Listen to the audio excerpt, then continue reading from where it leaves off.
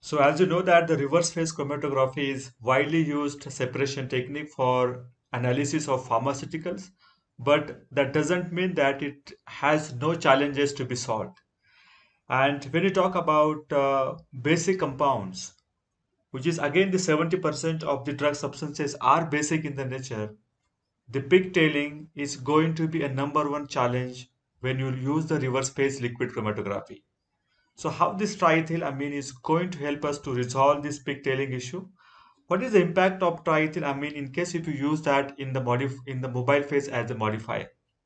Hi, my name is Bhaskar Napte. I am the founder of Pharma Growth Hub, and this platform helps many pharmaceutical professionals to get the absolute clarity on various such technical topics and also to accelerate their career growth. So, in case if you are interested to uh, accelerate your career growth with the confidence, do join the Pharma Growth Hub today.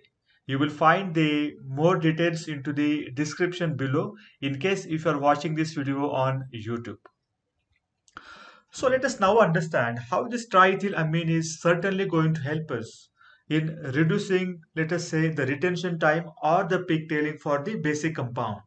And this can happen with the very first point, the reduction into the silanol effect. So what is meant by silanol effect? See, we're talking about the uh, reverse phase liquid chromatography, where our stationary phase is going to be non-polar in the nature, like C8 or C18. Now this C8 or C18 stationary phase is called as a bonded stationary phase and you need to use the base material to the bonding happens like silica.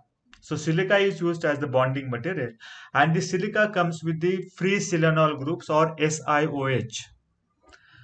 Now this SiOH are uh, actually gets replaced by the C8 or C18 linkages.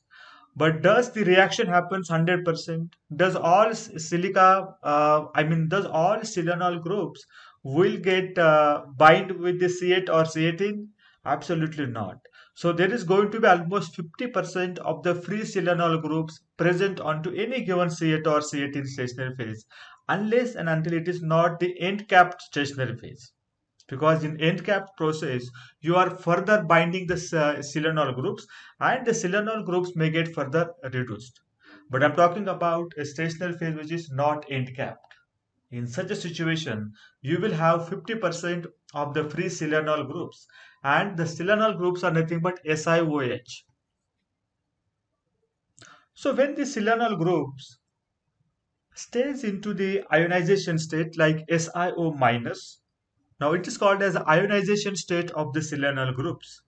So the triethylamine can interact with this ionized silanol group at the higher affinity so that the other compound cannot interact with the silanols. So what is the problem with the silanols? You know that because the silanol groups can also interact with the protonated bases. Now what is the ion present, what is the charge present onto the silanol groups? you can see that it is SiO minus. And what is the charge present onto the protonated base? It is always the plus. So this minus charge present onto the silanol can attract to the plus charge present onto the basic compound and because of that the, the basic compounds will certainly get interacted with the silanol group also. Your intention is what to get the separation partition happening with the C8 or C18 functional groups but in addition to that, the silanol groups will also help in the retention of this protonated basic compound. And this is called as the secondary effect. But what happens in case if you add the triethylamine into a mobile phase, right? Triethylamine is also a base now. And this triethylamine will also get protonated. It becomes the quaternary amine now. This quaternary amine carries a positive charge and uh, this quaternary amine has a higher affinity towards the silanol groups and because of that this weak basic compound will not get any chance to interact with the silanol groups. Rather this triethylamine which is now protonated will go and sit along with the silanol group so that the secondary interaction of your protonated basic compounds gets uh, reduced. But this requires you know what? This requires a low ph because your triethylamine should get protonated. And in the lower pH, your basic compound will also have into the protonation stage.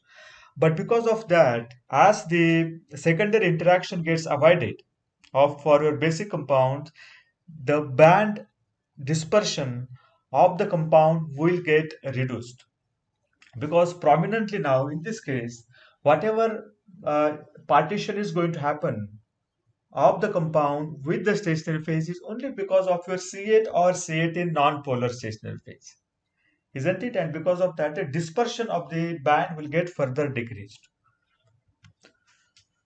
So, uh, in case if uh, there is no interaction possible of your protonated base with the silanol groups, that you can understand that now the interaction of the compound with the C8 or C18 stationary phase is only the source for its retention time. Now, whatever additional retention time was possible because of silanol effect was already been nullified, reduced because of the triethylamine. And because of this, because of this one reason, you can expect that the protonated basic compounds can have the now lower retention time as compared to if the triethylamine is not present into a mobile phase. So you can understand that the, the presence of triethylamine actually reduces the retention time of the ionized basic compound where the stationary phase without an end cap is used. Now without an end cap means what? So if the mobile, if the stationary phase is already been end capped, that means there are no much silanol groups available. So the impact of triethylamine may not be seen or sometimes uh, the triethylamine may not be required as a part of your mobile phase uh, modifier. But for the non-ionized compound, as uh, this non-ionized compound never interact with the silanol groups, so if you add triethylamine, there is no going to be much impact onto their retention time. So the retention time of non-ionized compound will not get impacted just because of addition of triethylamine. So this is the first reason how the peak tailing of your alkaline compound get minimized in presence of the triethylamine in a mobile phase. It also under, need to understand that the retention time of uh, basic compound can also get reduced in presence of triethylamine and we discuss what is the reason behind that. The second effect that triethylamine can bring in the presence of mobile phase is the ion pairing effect. In acidic pH, this triethylamine is going to be a quaternary amine which is called as a triethyl ammonium cations and I have represented into a uh, structure over there but this is just for the understanding okay so you can see the the plus charge onto the nitrogen and that becomes the quaternary ammonium uh, salt the non-polar ethyl group from triethylamine interacts with the non-polar C8 or C18 group of the RPLC column with the principle of like attracts like. So this opposite, I mean not opposite charges, but the non-polar attracts non-polar. So C8 or C18, we all know it is a non-polar stationary phase. And now what is the nature of this uh, hydrocarbon C2H5 chain? It is again the non-polar in the nature. And because of that, this C, uh, C8 or C18 phase will actually get binded with this non-polar end of your uh, triethylamine and with this now can we expect that this positively charged N plus will actually get embedded onto the C8 or C18 stationary phase and that way your stationary surface looks like to be a polar now. It looks like a positively charged stationary phase which is a polar in the nature and and that's what the the first step in achieving the ion pairing now. So what is going to happen? In case if you have the uh, ionized acid, acidic compound A minus, right? A minus is a charge present onto the ionized acid. So this A minus and this N plus is opposite in the charge and because of that these opposite charges are going to attract each other and hence this ionized acidic compound can interact with the this positively charged stationary phase and hence the retention of this ionized acidic compound can get increased only in the presence of protonated triethylamine. However, the retention time of ionized base BH plus gets decreased in the presence of protonated triethylamine. Now there is no opposite charge because the charge present onto the stationary phase is also positive and the charge present onto the uh, protonated base is again positive and they are going to repel each other rather than attraction and hence the elution of the protonated base is going to be faster uh, as compared to the uh, ionized acidic compound. And no change in the retention of a neutral compound can be observed in presence of protonated triethylamine.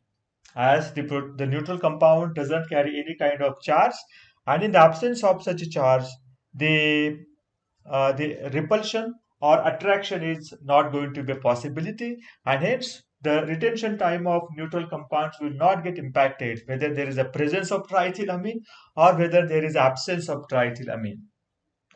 So thank you so much for watching this video. I hope you must have understood the role of triethylamine in the mobile phase. Thank you. Keep learning.